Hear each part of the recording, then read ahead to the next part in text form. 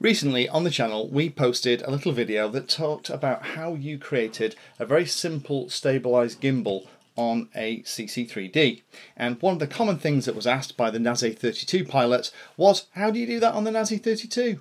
Well this is the video that's going to explain that so thank you to all the subscribers that asked for this, this is for you. So what we're going to do is use this very simple rig here on the bench to kind of show you what we're doing. We've got a little piece of balsa wood here. We have a Naze32 connected to it with a zip tied LiPo at the bottom so I can hold and move everything at once. Little receiver at the back and we have a servo connected to the Naze32 with a little camera popped on the side of it for demonstration purposes. Now what I'm going to do is go through how you set this up. It's relatively straightforward so that it automatically stabilizes the camera and then the last step will actually connect the camera to one of the input channels on the radio so that you can also change the tilt of the camera by using one of the channels that you have. So Bear with it, we're going to go through this at a reasonable pace. We're going to assume that you've already watched the other Naze32 videos. I'll put a link in the bottom to the Naze32 series, which this is part of. So if I'm talking about something that you don't understand, it'll be explained in the previous videos. So we'll jump onto the netbook and we'll talk about the first two or three things that we need to do to get this working. So here we are in Cleanflight.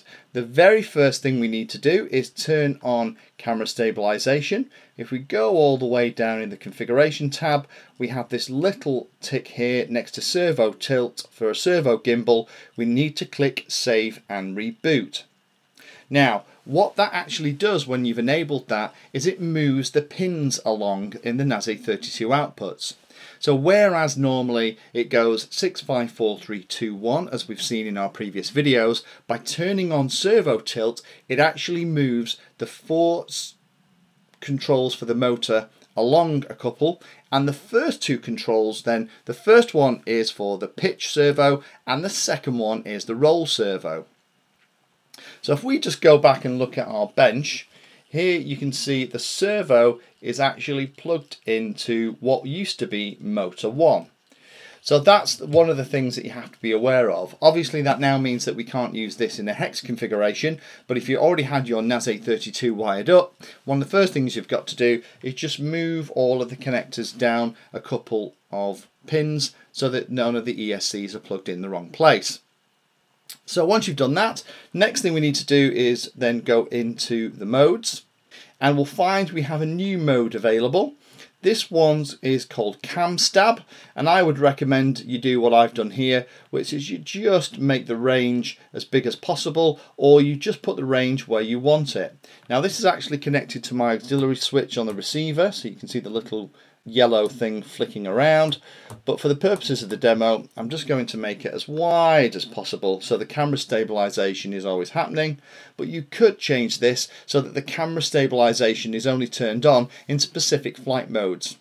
Go down to the bottom, click save. If that's worked then you'll notice that the cam stab indicator will go green and then we're ready for the good stuff. So we're going to go into servos. Now we only have a pitch servo installed here. It's a very simple gimbal identical to the one that we did in that CC3D video. So here we have the standard settings, we have the midpoint, we have the minimum and maximum positions, and then we have the ability to relate the tilt of the camera to a channel, and then the direction and how much it's moving. Now, if I just show you what how this is working right now, if I move it, I don't know if you can see that, but the camera is kind of moving, but it's actually moving in the wrong way. So if you find that the camera is being compensated in the wrong way, that's dead easy to fix. We'll just change the direction. So rather than being a positive number, we'll change it to a negative number and vice versa. So I'll go down to about minus 30. Click Save to send it to the board. And now we can see that's kind of working but it isn't quite working well enough. So that 30, although we're in the right position, is pretty close. We might need a bit more. The other thing that I'm not very happy about is at the moment, you can probably see here that the camera isn't pointing straight out. Now we can adjust that too by changing the midpoint. So I'm going to increase the midpoint by maybe another 50. Let's just see what that does. So I'll make the midpoint 1550, click save. So I'll move, I would say probably needs a bit more, about maybe another 40. Okay, that's very close. I would say probably another 30. Right, that's better. That, that camera looks more like it's flat to me. And again, as I'm moving the gimbal around, isn't quite going far enough. So what we need to do is increase that rate number. So it's minus 30 at the moment. Let's just double that to see if that will help. We'll take it up to about minus 60. Click save again. Now we'll try our gimbal. That's looking a lot better. I would say that's probably overshooting very slightly now. I'd probably drop that down to maybe 50. And this is the great fun with this. It is a little bit iterative. That's pretty much spot on. It might be a couple away from perfect.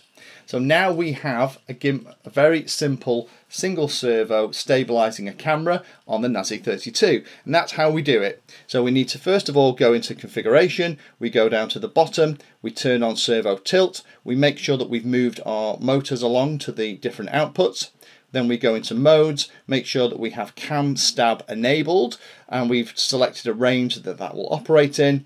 Then we go into servos and now we can change the pitch and the roll servos. Now the other thing I know I'm going to be asked is how do you then make it so that you can control this camera from one of the channels on the radio? And that's what these buttons here in the middle are for. So I'm just going to connect this at the moment to my elevator channel. Let's just figure out which one that is. So if I go into receiver, move my elevator, that's channel 2, Okay, so if I go back into servos again and pick channel 2 and then click save, if I just bring my radio into the shot as well so you can kind of see it, as I move my elevator I am now also adjusting the camera as well. Now obviously you wouldn't actually assign it to one of the sticks. What you'd actually do is put it onto an auxiliary channel or maybe a slider at the back of the radio. Now the nice thing about this is, is even if you set up that the, if you move it using the stick, it will then still maintain that new orientation as you fly the craft around. So, hopefully that helps those of you that are looking to do this on a Naze32. It's relatively straightforward. Just remember those three or four things and you can have a very simple stabilized camera that will just make sure that you're not staring at the ground when you're going into fast forward flight and you can also assign it to a channel on the radio so that you can then control that camera and look up and down or change the amount of pitch that you're getting as you're flying around. Thank you for taking the time to watch that video. There are lots of other videos on the channel and they're carefully ordered into playlists, so you may find that there are other videos on this same subject that you can go and watch. So I would recommend going into the playlist area of Painless360 YouTube channel and looking around and seeing what there is. You never know what you might find. Thanks for watching, please like, subscribe and happy flying.